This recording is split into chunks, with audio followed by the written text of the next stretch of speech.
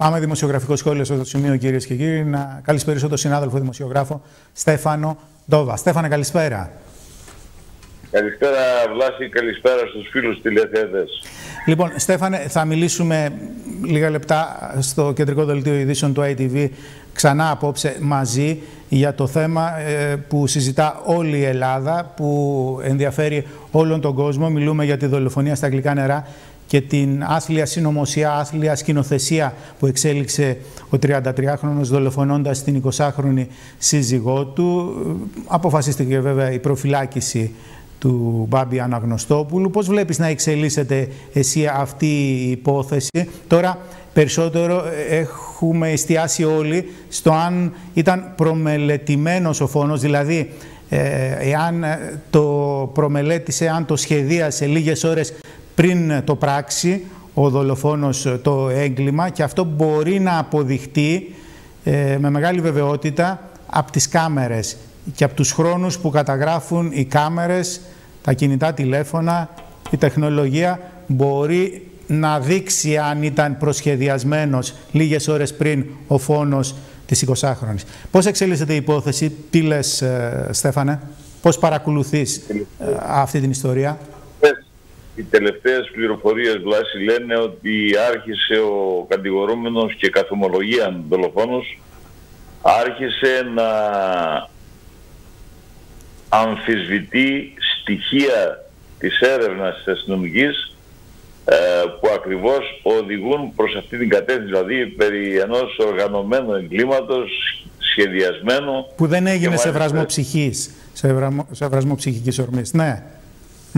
Αυτό υποστήριξε και ο συνηγορός του. Βεβαίως ε, όλοι έχουν το δικαίωμα της... Ε, ναι, ο κατηγορούμενος μπορεί να λέει ό,τι θέλει. Για μέχρι να αποδειχθεί, αλλά εδώ έχουμε μια ομολογία ε, εγκλήματος και το ζήτημα είναι τώρα πόσο μαλακά προσπαθεί να πέσει και τι είναι αυτά τα, οι τρόποι που χειρίζονται και κυρίως εδώ θα πρέπει επειδή άκουσα με πολύ μεγάλη προσοχή τα όσα υπόθηκαν από την πλευρά των συνηγόρων αλλά ε, και όσα αναφέρθηκαν σε ρεπορτάζ ότι οι νέες τροπολογίες που είχαν ψηφιστεί για τη δικαιοσύνη προβλέπουν άλλα πράγματα και φοβούνται όλοι γι' αυτό και ρωτούν πόσο καιρό θα μείνει μέσα. Αυστηροποίηση ποινικών κώδικων προαναγγέλει η Πελώνη, η κυβερνητική εκπρόσωπος. Να δούμε ναι. όμως αν μπορεί να συμπεριληφθεί το συγκεκριμένο έγκλημα σε μελλοντικές αυστηροποιήσεις. Μάλιστα. Ο ίδιος ο δικηγόρος του, του θύματος ε, είπε ότι, της οικογένειας του θύματος, είπε ότι δεν υπάρχει αναδρομική ισχύ εφαρμογής των νόμων. Να. Να. Οπότε κανένα ξέρει τι μπορεί να γίνει. Γι' αυτό όλη η Ελλάδα έχει συνταραχθεί από αυτή την υπόθεση. Από τη σκηνοθεσία, από αυτό που έκανε. Από τη σκηνοθεσία, από το ότι έβαλε το μικρό του παιδί, το, το 11 μηνών ε, βρέφος, το έβαλε δίπλα στην νεκρή γυναίκα του που πριν από λίγο είχε δολοφονήσει. Από το ότι αγκάλιαζε τη μάνα της 20χρονης, από όλα αυτά. Το θέμα είναι ότι αυτό που υπέστη το σοκ η ελληνική κοινωνία είναι γιατί επί 37 μέρες υπήρχε ένα παραπλανητικό, μια παραπλανητική σκιά στην όλη υπόθεση προκειμένου να, να μάλιστα να κερδίσει και τη συμπάθεια της κοινής γνώμης ο δίθεν πικραμένος πατέρας κτλ. ο οποίος πήγε στην κηδεία ε, της γυναίκας του και ε, η μάνα της του αγκάλιαζε τα χέρια, τα χέρια του δολοφόνου της κόρης της. Λοιπόν, εν πάση εκείνο που έχει σημασία είναι τώρα ότι με απόφαση του ανακριτή και του εισαγγελέα ε, από τα κρατητήρια της Ευελπίδων ο, ο δολοφόνος θα μεταφερθεί στις, στο γυναικείο τμήμα των φυλακών του Κορυδρύλου γιατί αν πάει στο ανδρικό τμήμα κανένας δεν ξέρει τι μπορεί να γίνει. Στις φυλακές υπάρχουν άγραφοι νόμοι τιμωρίας για συγκεκριμένα, για συγκεκριμένα δικήματα. Ακριβώς γιατί και εκεί υπάρχουν άνθρωποι που έχουν άλλα αισθητήρια και λειτουργούν και απονείμουν, δηλαδή η δικαιοσύνη είναι πολύ μικρό αυτό που πάνε εκεί μέσα. Έχει συγκλονίσει πάντως αυτή η υπόθεση. Ναι, από πολλές ναι, πλευρές.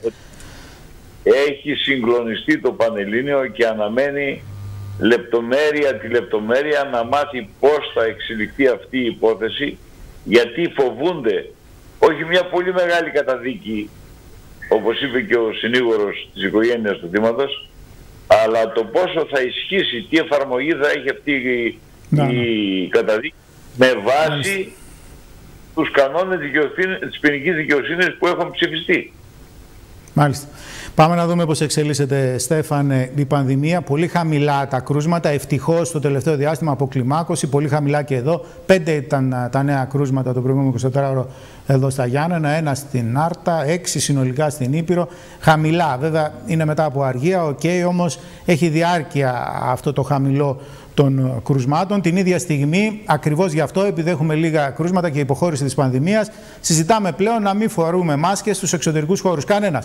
Και εμείς που εμβολιαστήκαμε και κάποιοι που δεν εμβολιάστηκαν, κανένας να μην φοράει μάσκα στους εξωτερικούς χώρους. Πιθανότατα αυτό θα ανακοινωθεί την ερχόμενη Πέμπτη, όπως προανήγγειλε σχεδόν και η κυρία Πελώνη, η κυβερνητική εκπρόσωπος. Μιλούμε για εξωτερικούς χώρους όπου δεν υπάρχει βέβαια συνοστισμός. Όπου υπάρχει συνοστισμός, κάπου που είναι πολύ μαζεμένοι σε έναν εξωτερικό χώρο, okay, εκεί θα πρέπει να φορά κανείς μάσκα. Την ίδια στιγμή βλέπουμε ότι σύμφωνα με τους επιστήμονες έχουμε κάτι αισιόδοξο Καθώς μιλούσαμε για τρίτη δόση εμβολίου, αυτή η τρίτη δόση μπορεί να καθυστερήσει, καθώς η ανοσία, λένε οι επιστήμονες και οι έρευνες που κάνουν από τα εμβόλια, είναι αρκετά μεγαλύτερη από ό,τι αρχικά είχε υπολογιστεί. Ευχάριστο είναι αυτό. Αλλά βέβαια ένα τέταρτο κύμα, το φθινόπωρο, υπιότερο σαφέστατα, είναι πιθανό. Και αυτό το κύμα θα αφορά τους ανεμβολίαστους. Έτσι.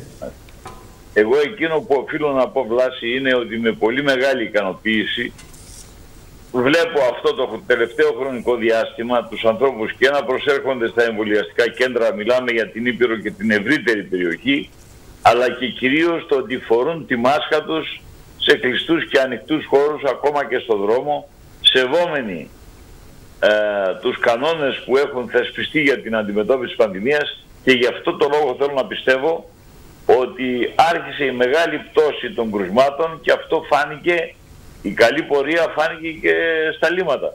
Έτσι είναι ακριβώς από... όπως λες. Και οι εμβολιασμοί βοηθάνε και το καλοκαίρι, έτσι. Τρία εκατομμύρια Έλληνες έχουν εμβολιαστεί με τις δύο δόσεις ε, των εμβολίων. Έχουν ολοκληρωμένο δηλαδή εμβολιασμό.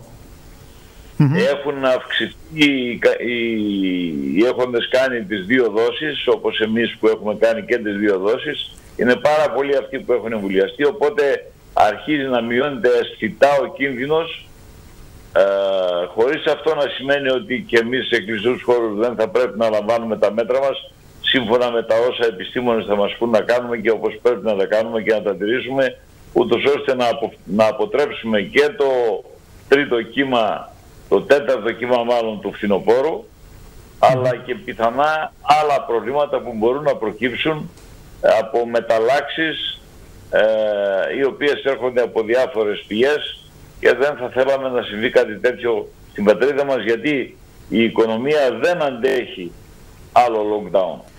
Η οικονομία όλοι μας. Σε ευχαριστώ Στέφανε. Σε ευχαριστώ πολύ για τα πολύ ενδιαφέροντα και άποψη. Θα έχουμε την ευκαιρία να τα ξαναπούμε πολύ σύντομα.